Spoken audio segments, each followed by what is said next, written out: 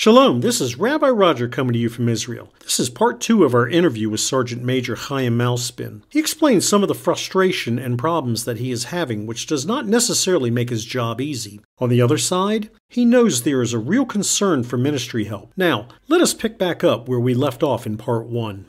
You can check if you want that even, I mean, this is a controversial point. You might not want to put this in, or, or yes or no the reach of the missiles, let's say we completed the invasion of, of southern Lebanon, we made them retreat from their uh, what's called Shmurot Teva, which are nature reserves.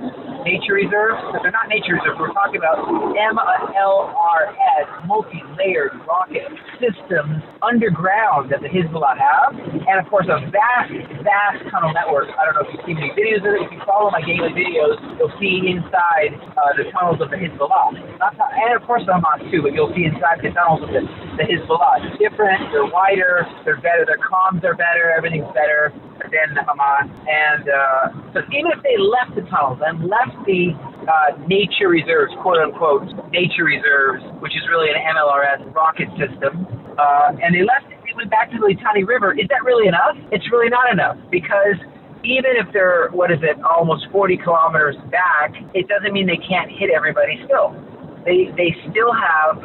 Are we going to now go what? I'm talking just what do the people want us to do? Do they want us to occupy fully southern Lebanon like we did back in the day? Um, do they to build cities there? Do they want us to? Will that make them feel safe? Because it says we want to make sure that people feel safe. That sounds nice, but what do you mean by that? I'd like to unpack that a little bit to know what makes them happy. Of course, we're doing everything we can, but everything you can, let's unpack that. Okay, do you want us to occupy southern Lebanon? Do you want us to uh, just move to behind the Litani? They still have missiles. Do you want to topple topple Hezbollah entirely? We've seen how hard that is in with Hamas. Do you know that that means another seven, ten months, another year of war? W- with what money? Uh, are you saying it with with what international pressure would would hit us then? So I'm just, I'm just, I'm not trying to sound like a pessimist. I'm quite an optimist, but I want people to know what they're asking me to do, and uh, and what that would take. And the whole economy is already, as I just aforementioned. So, yeah, yeah hmm. you get the point. Right. Sad part is there's so many little tentacles that are attached to it you know, and none of them are, you know, not necessarily any one better than the other or a big help in the overall picture. And that right, was, indeed. So what you know, if you know, what is the government actually going to do about it? You know, is there anything long term that they're thinking, or are they just saying, you know, as a bandage, we're just going to put these people aside and just kind of ignore them and let them flail and do whatever they need to do to survive? And in the meantime, we got a war to tend to. Uh, multiple wars. Yeah, well, that is exactly what it is. Is a band-aid until either very wide military um, action is taken, which we're ready for.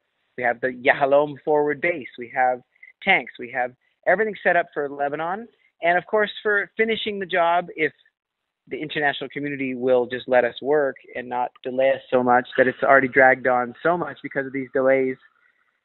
Uh, we could have finished this by now. If we instead of releasing soldiers and release most of the soldiers, oh, get them back.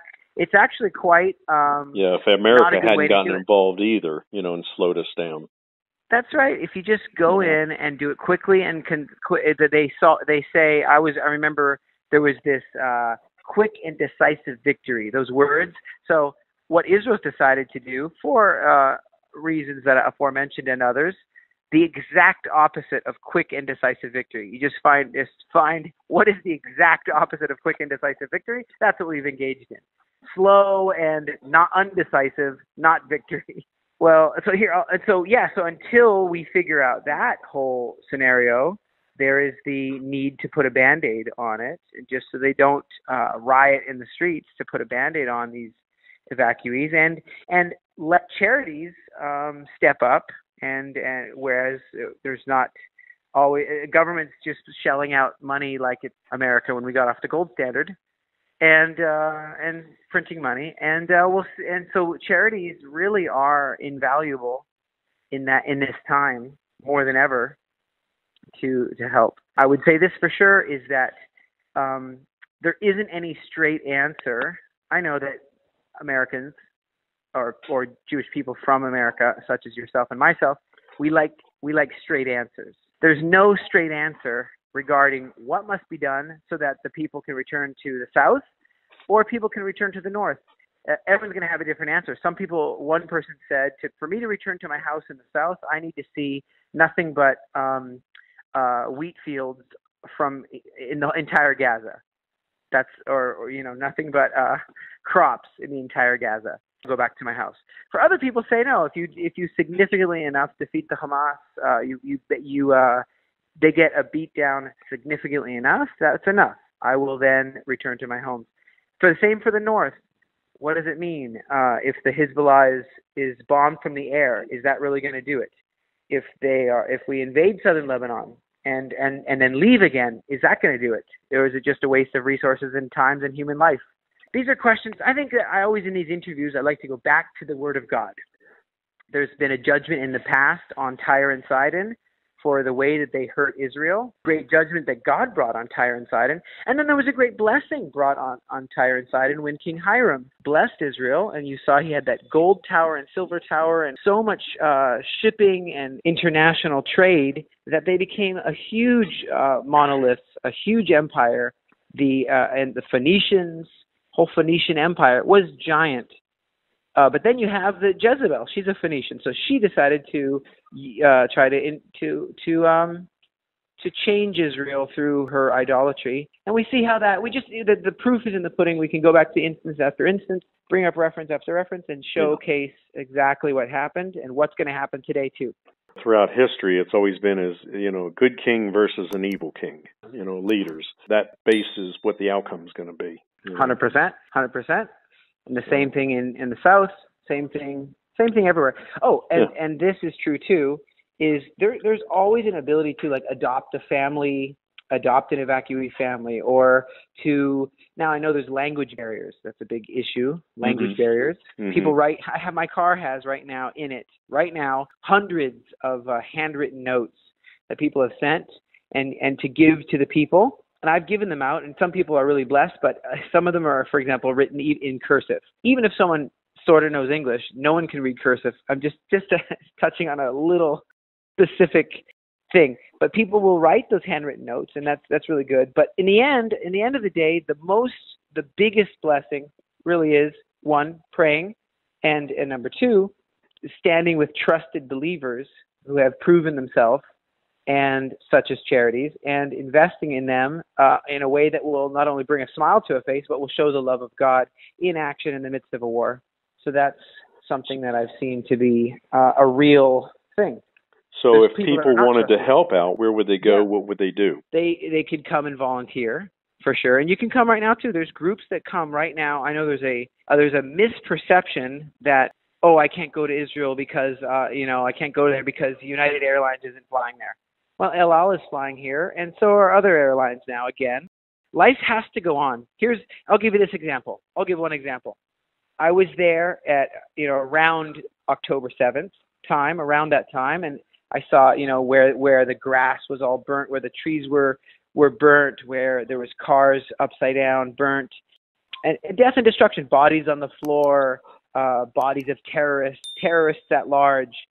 That you know, it was a very very bad time. Everyone everywhere was was sirens, flashing lights, smell of death, strong smell of death. The Re'im um, place. I go back now and I see trees have been planted.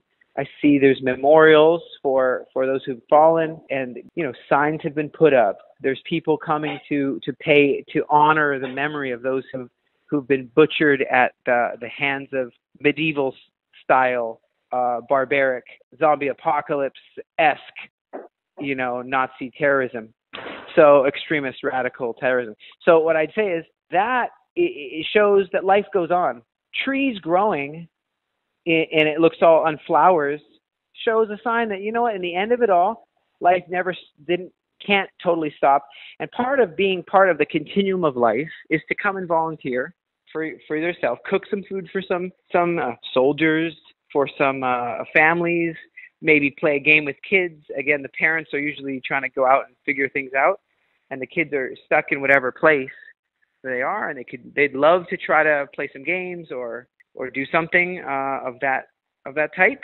and uh, of course donate. Hey, pray for them, hundred percent. Donate. They could they could easily say, look, we want to work with a trusted charity. There's a, there are charities in Israel that haven't had the time honored uh, trust to see if they you don't know people want to help and they're like oh I'll just do this I'll just give something somewhere. Well, I would go with those who have a track record instead of just oh I decided to give this one family directly thousand dollars. They're like well what about the other families that are right next to them? That's that's kind of you know it's it's not an it's not a way to address a group of people. So volunteer and pray and come and uh, and and give in this time, especially in light of the aforementioned expenditures.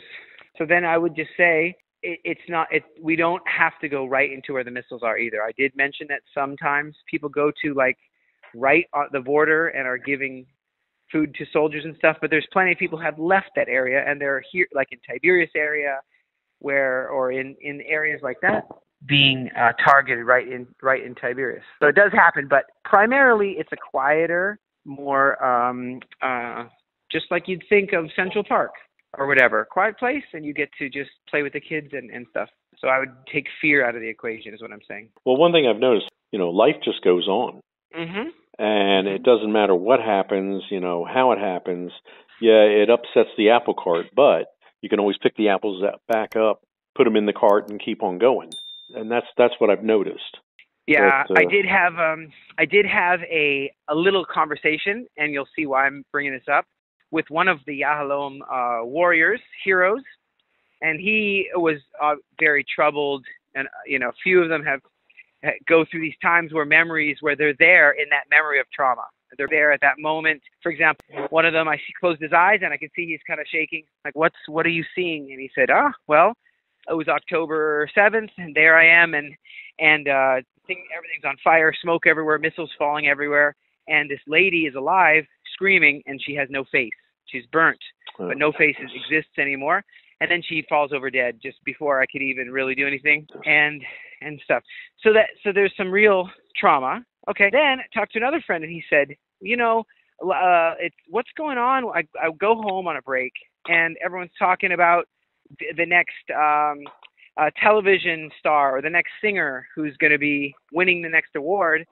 And I said, "What's going on? Like they don't they don't seem to get that we've lost friends, that we are risking our life every day, and same for evacuee families that we're out.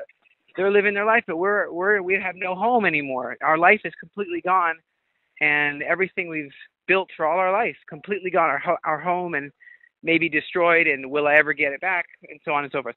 So I had this conversation. I said, I said, look, what do you want people to do? You want everyone to go into mourning? You want to close down every coffee shop? You want to uh, you want the country to go dark? Uh, is that is that what you're fighting for so hard? Uh, is that what we're all fighting for? That the country goes dark and goes into mourning as a nation? Uh, no, there's time to mourn, but life must go on, and we want life to go on. And, uh, and and he's like, you know what? You're absolutely right. You're fighting that life will continue, not that life will just just grind to a halt and uh, and so anyway, that's I thought that, and he was like, "You're absolutely right." Let me ask you, the listener, a question. How are you dealing with life's daily struggles? Do you have trauma in your life and are unable to deal with it? Maybe some of you were in Vietnam or the Iraqi War and have had some issues that causes you not to sleep well at night, just like the soldier who closes his eyes and sees October 7th all over again. Reach out and contact us. We want to help you to overcome the hurt, the pain, the unforgiveness that you are struggling with. Jesus wants to heal you and set you free. Reach out to us and let us help you. Go to branchofisrael.com and contact us today so we can see you get real freedom in your life. And just know anything shared with us remains totally confidential. How about the person that does not know Jesus as their Lord and Savior? The Bible does not give us a prayer to receive Him, but it tells us to believe on His name and you shall be saved. So repeat this prayer after me Jesus, forgive me of all unforgiven sins in my life. Forgive me for not following you. Forgive me for not giving you any hurts and pain I have struggled with. I believe you are the one true Messiah, and I want you to be in the center of my life with me. In Jesus' name, amen. Again, this is Rabbi Roger, and thank you so much for listening. Lehitrot, goodbye, or see you again.